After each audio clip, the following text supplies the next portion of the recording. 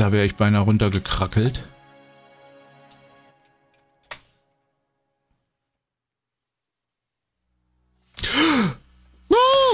Shit.